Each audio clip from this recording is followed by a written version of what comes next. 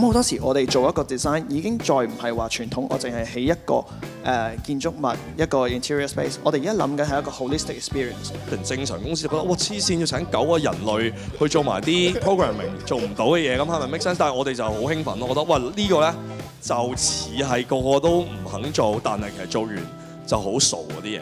如果我哋真係開始諗 branding 咧，我諗揾下個即係你個 brand 嘅 meaning 喺邊度啦。